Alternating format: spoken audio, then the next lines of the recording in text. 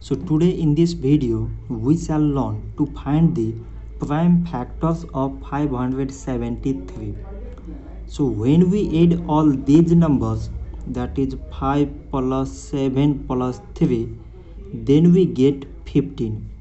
and 15 is exactly divisible by 3 so 573 is also divisible by 3 3 times 1 mean 3 remainder 2 and this 7 27 3 times 9 mean 27 and 3 times 1 mean 3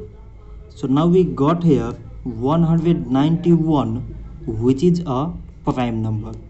So it is divisible by 191 itself and we get here 1 therefore 573 is equal to from this side it is 3 times 191 so 3 and 191 are the prime factors of 573 so this much for today and thanks for watching